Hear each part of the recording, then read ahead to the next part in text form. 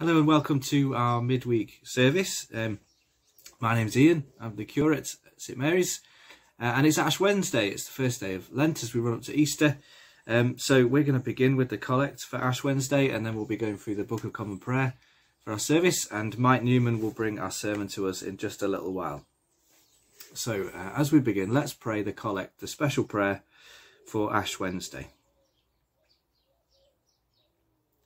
Almighty and everlasting God, who hatest nothing that thou hast made, and dost forgive the sins of all them that are penitent, create and make in us new and contrite hearts, that we, worthily lamenting our sins, and acknowledging our wretchedness, may obtain of thee, the God of all mercy, perfect remission and forgiveness.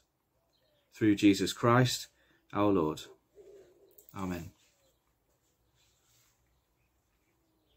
The sacrifices of God are a broken spirit. A broken and contrite heart, O God, thou wilt not despise. Repent ye, for the kingdom of heaven is at hand. If we say we have no sin, we deceive ourselves, and the truth is not in us. But if we confess our sins, he is faithful and just to forgive us our sins and to cleanse us from all unrighteousness. Dearly beloved brethren, the scripture moveth us in sundry places to acknowledge and confess our manifold sins and wickedness.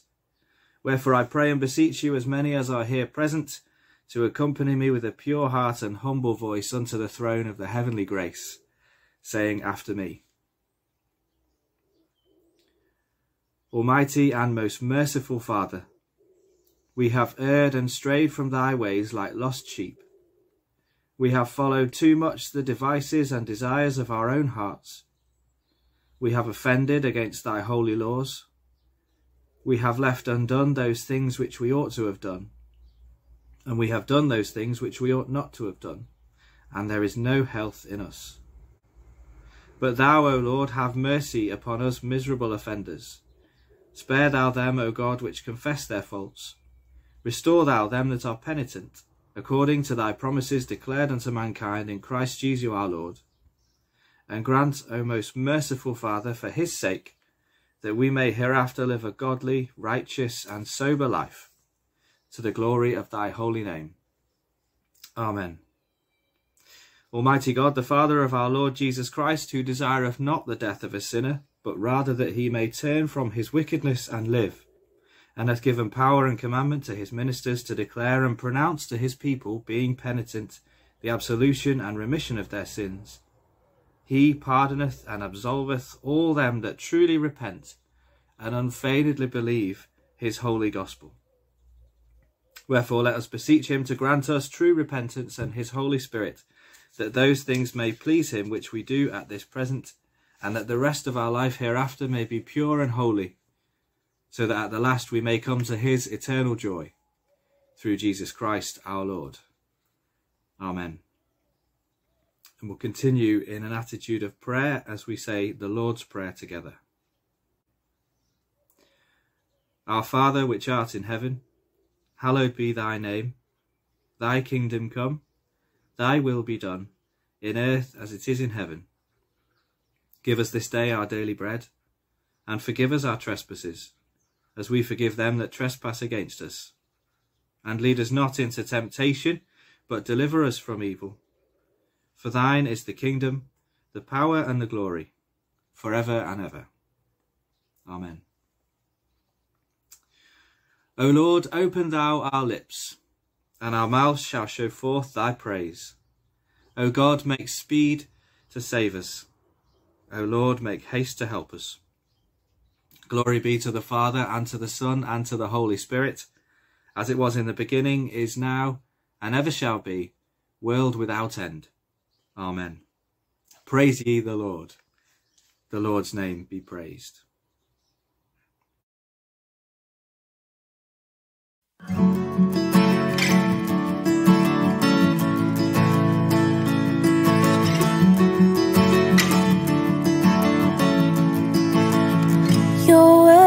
Is good, it's ever faithful, worth more than gold, the heart's delight.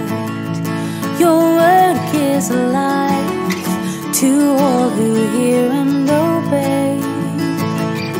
Your word endures forever. Your word is true, it never changes.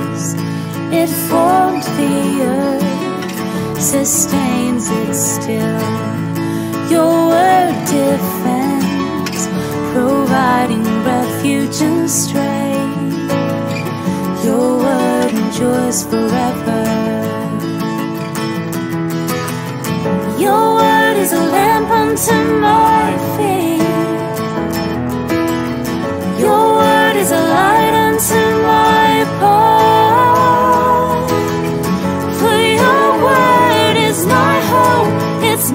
Joy and my song. Your word endures forever. Your word transforms,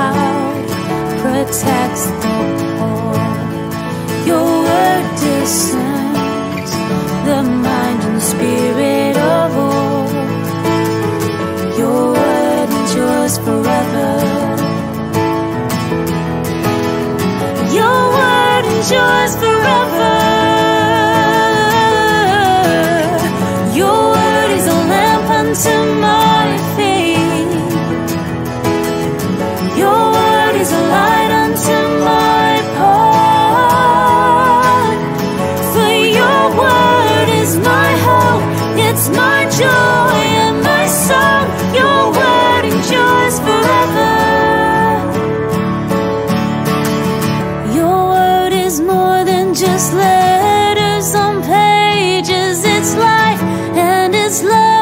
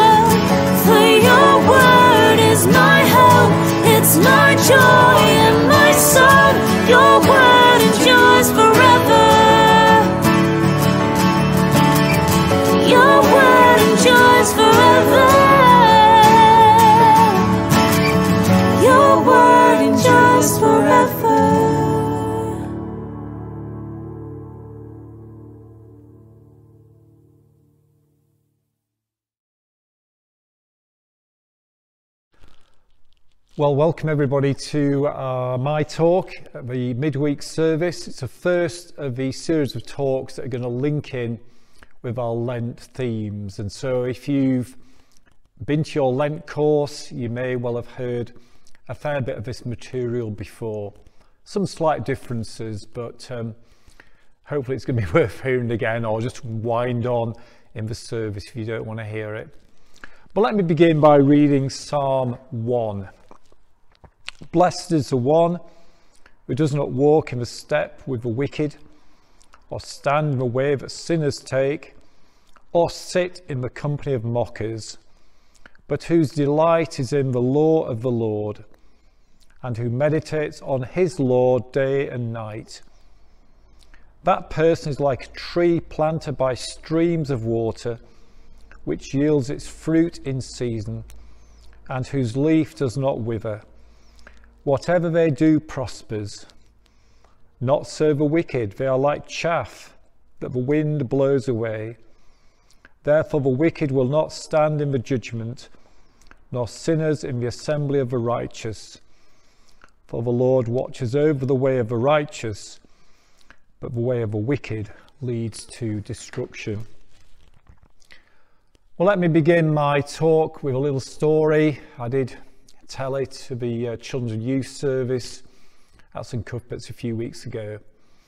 I did have, I haven't got it anymore, a really big Bible, huge, great Bible that had been given to me uh, some years ago. And for a bit of fun, I used to take it into assemblies when I was speaking about the Bible wrapped in wrapping paper. And I used to say to the kids, inside this wrapping paper is a really fantastic birthday present that was given to somebody several years ago. I wonder if you can guess what it was. And they sort say, oh, Mr. Newman, it's a, a PS2 or a PS3 or a PS4, depending on when the assembly was. Or Mr. Newman, it's a some Nike trainers, you know, the latest ones, or it's some game or whatever it is. And then we'd unwrap the Bible, and of course, the kids' faces would, oh, they couldn't believe it. Who'd want a Bible for a birthday present? And then I'd open the cover and we'd see that it was given to, can't remember the lad's name, a young lad on his 13th birthday in about 1917. So our attitudes to the Bible have altered very considerably. But actually, the Bible is a treasure. It's going to be a far greater value than any computer game or set of trainers if only the kids actually knew that, which suppose is why we have the fantastic work of people like Primary Focus and Bible Encounter and The Message. So I've got two questions I want to just briefly think about with you now for the rest of my talk. Why read the Bible and how to read the Bible.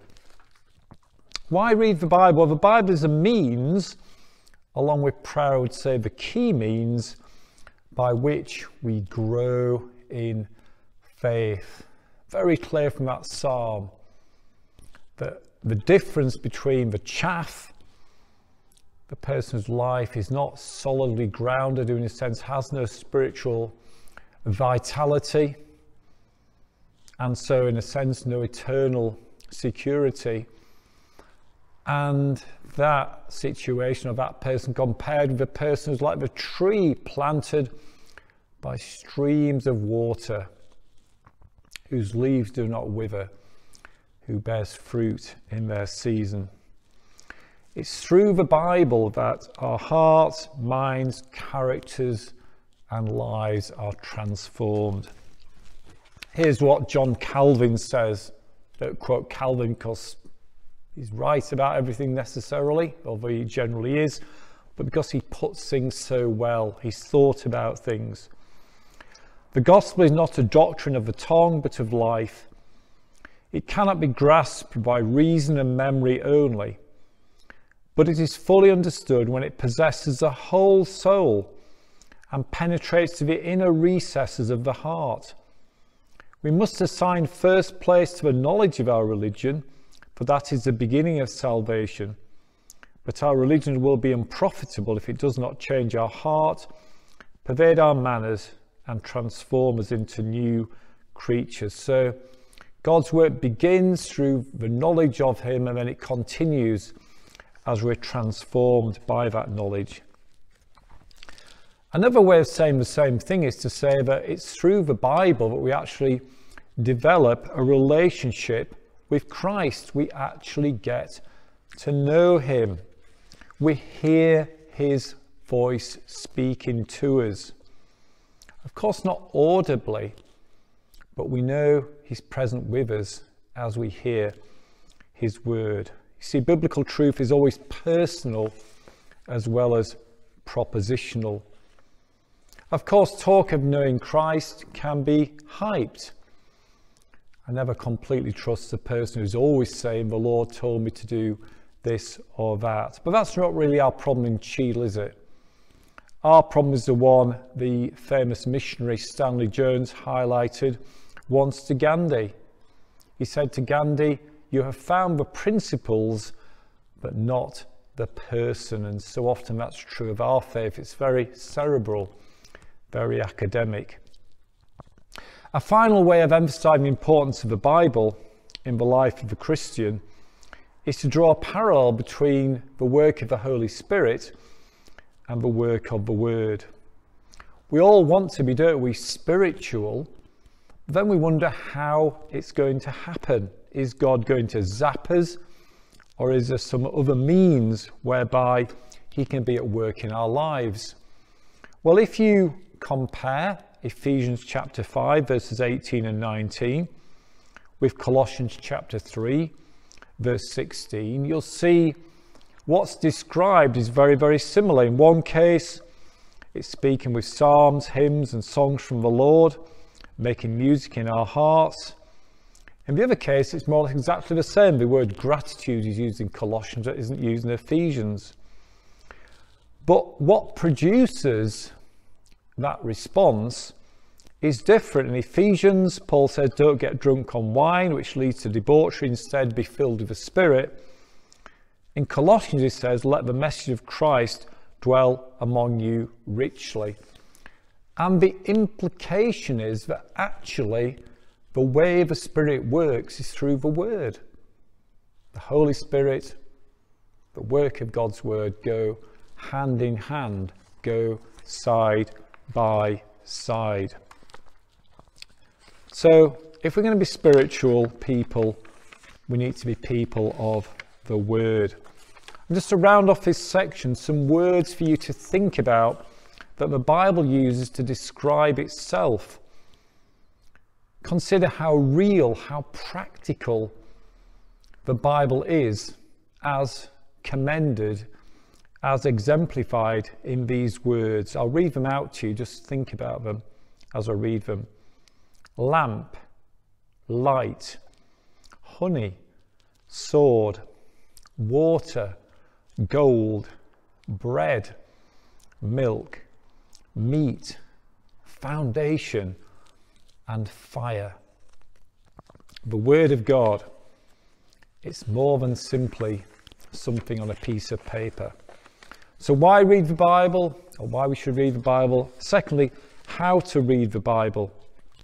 And again, I want to emphasize the importance of both the mind and the heart. Some of us are good at one and not the other. Less of us are good at both, but both are important. So let's begin with understanding. That is vital, isn't it? Because Christianity is not irrational. God's given us minds. However spiritual we are, 2 plus 2 is not going to equal 5. The Lord's word begins in the mind, which is why God communicates to us in words. It's why the Bible consistently emphasizes the importance of truth. if you're still in any doubt, consider Romans 12 verses 1 and 2, particularly verse 2. Um, the word transformation occurs there, a very important word in our vision statement. Paul said, which present our bodies living sacrifices, and then he goes on to say this Do not conform to the pattern of this world, but be transformed by the renewing of your mind. Then you'll be able to test and approve what God's will is, his good, pleasing, and perfect will transformed by the renewing of your mind. So, the discipline of study, thinking about and seeking to understand the word, is very important. But the mind is only the starting point. The word's got to drop from here to here. That 12 or 18 inch drop is so important. It's what Calvin was saying in his quote. It can't simply be a knowledge thing, it's got to be a heart and life thing. How's it going to do that? Well, things can help are things like memorization and meditation. So, memorization helps us to both recall the Word of God, as our Lord did in the wilderness, but even more importantly, to absorb it um, and to memorize it so we can have it our means when we need it. And in fact, I meant to bring in, but I've forgotten uh, my Bible from when I was first a Christian. It's full of little notes down the side, and maybe you did something similar or still do, underlining things, highlighting things. Maybe you'd say that's wrong to deface a Bible, but if it's helping you understand and memorize the word, then it's a very good thing. Certainly, my early years as a Christian have helped me to remember God's word and in helping people grow in teaching and preaching. So often it's those who've studied the word, memorized it for years, that are then able to bless people as that understanding uh, informs what they say. But meditation, and this is the other thing I just want to highlight, takes our engagement with the Bible one stage further. In the uh, sort of course book we use for planning these Lent talks. The author, Donald Whitney, compares uh, meditation on the Bible to making a cup of tea using a tea bag. Now, because it's American, I think he doesn't really understand how tea bags work, but it doesn't really affect the illustration. Let me read it out to you. Your mind is a cup of hot water and the tea bag represents your intake of scripture. Hearing God's word is like one dip of a tea bag into the cup. Reading, studying, and memorizing God's word are like additional plunges of a tea bag into the cup. So, you know, you go in there with your tea bag into the water, reading, studying, memorizing. The more frequently the tea enters the water, the more permeating its effect. And we know that, don't we? As we try to make a cup of tea, to make it actually a proper cup of tea and not some sort of weak effort. But then he goes on. Meditation, however, is like immersing the bag completely and letting it brew until the rich tea flavour has been extracted, which is why obviously we put the tea bag in first, then pour the water in. Meditation is letting the Bible brew in the brain. As the tea colours the water, meditation likewise colours our thinking. What a beautiful illustration. Scripture permeating our hearts and our minds. Now, some of us are suspicious of meditation. It sounds all wrong, but done rightly, it is biblical. Christian meditation is not about emptying the mind, but filling it with God's truth. It's not an alternative to Bible study, but an extension of it. It's not a psychological technique, but a means whereby the Holy Spirit speaks to us. And it provides or can provide an important bridge between Bible study on the one hand and prayer on the other. In fact, Tim Keller, in his comments on Psalm 1, makes that very point. He says, Why Psalm 1 been placed where it is before the other 149 Psalms? Well, one reason he says is this the Psalms are basically prayers, but the first of the Psalms is a word to tell us to meditate on the Bible day and night. Because it's as we meditate on the Bible, in a sense, the truth of God comes alive in our hearts, and then we're in a better place to pray. So we all struggle, don't we? Or I certainly do with quiet times. But there's an encouragement there to read the word. Then, only when we've read the word, in a sense, move on into prayers.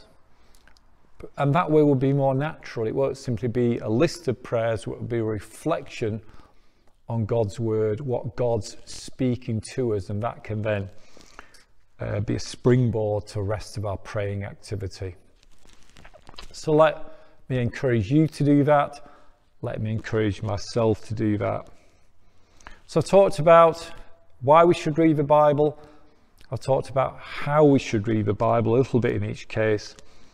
Let's finish with a prayer. It's a collect for Bible Sunday.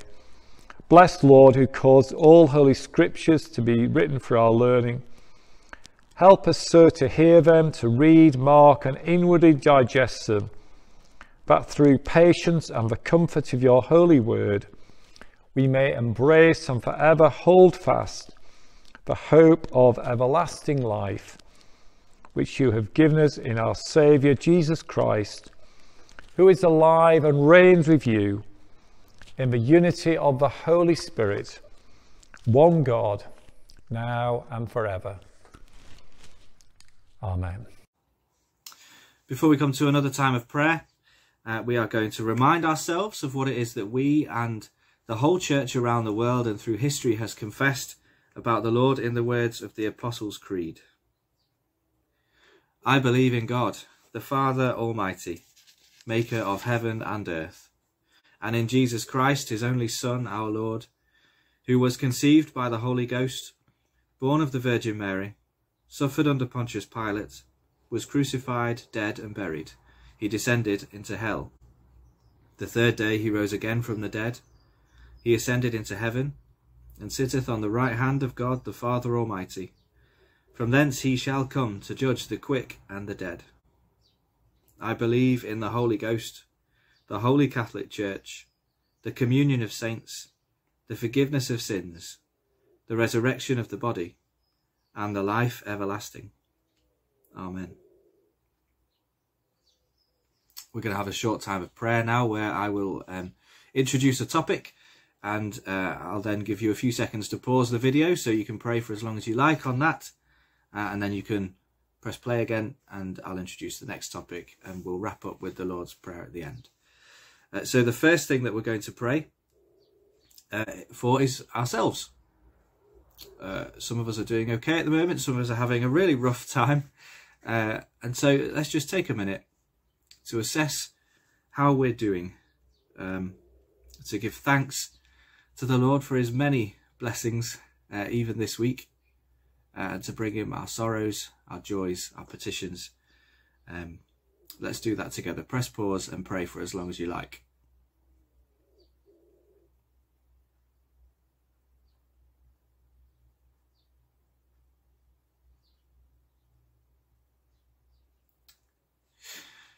Okay, the next topic uh, is the church start with ourselves and move wider each time. So pray for the church family, whether that's St Mary's or St Cuthbert's.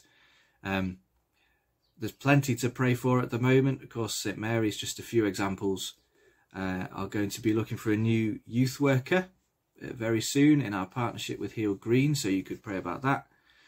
Uh, in terms of children and youth stuff, you can give thanks for the provision that we enjoy. All of our children and youth leaders have been working so hard um, on Zoom, which isn't ideal, is it? But um, that's generally been going well, and we're grateful that we can do something like that in lockdown. Uh, or I'm sure you can think of a thousand other things to pray for for our church families. So pause the video and let's do that now.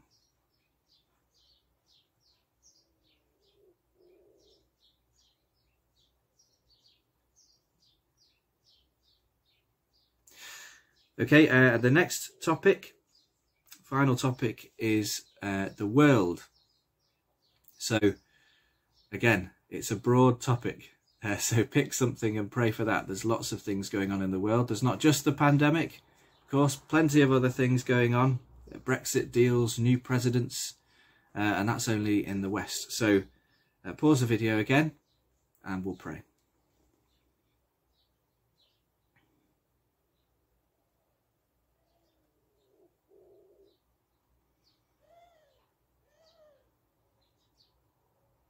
Uh, following the order for morning prayer, still in the Book of Common Prayer, let's say the Lord's Prayer again together. Our Father, which art in heaven, hallowed be thy name. Thy kingdom come, thy will be done, in earth as it is in heaven. Give us this day our daily bread, and forgive us our trespasses, as we forgive them that trespass against us. And lead us not into temptation, but deliver us from evil. Amen. O Lord, show thy mercy upon us, and grant us thy salvation. O Lord, save the Queen, and mercifully hear us when we call upon thee. Endue thy ministers with righteousness, and make thy chosen people joyful. O Lord, save thy people, and bless thine inheritance. Give peace in our time, O Lord, because there is none other that fighteth for us but only thou, O God. O God, make clean our hearts within us, and take not thy Holy Spirit from us. And we've already already had the collect for Ash Wednesday at the beginning, so the collect for peace and the collect for grace as we finish. O God, who art the author of peace and lover of concord, in knowledge of whom standeth our eternal life, whose service is perfect freedom, defend us, thy humble servants, in all assaults of our enemies, that we, surely trusting in thy defence, may not fear the power of any adversaries. Through the might of Jesus Christ our Lord. Amen. O Lord, our Heavenly Father, Almighty and everlasting God, who has safely brought us to the middle of this day, defend us in the same with thy mighty power, and grant, excuse me, grant that this day we fall into no sin, neither run into any kind of danger, but that in all our doings may be ordered by thy governance to do all ways that is righteous in thy sight, through Jesus Christ our Lord. Amen. Almighty and everlasting God, who alone workest great miracles, send down upon our bishops and curates, especially in this season of Lent, and all congregations committed to their charge, the healthful spirit of thy grace, that they may truly please thee. And that they may truly please thee, pour upon them the continual dew of thy blessing. Grant this, O Lord, for the honour of our advocate and mediator, Jesus Christ. Amen. Well, thanks for joining with us. Uh, we um, we're going to be continuing on these Wednesday series through Lent with our Lent series, spiritual disciplines. Um, so I hope today's was helpful. Uh, let's finish with the grace together. The grace of our Lord Jesus Christ and the love of God and the fellowship of the Holy Ghost be with us all evermore. Amen.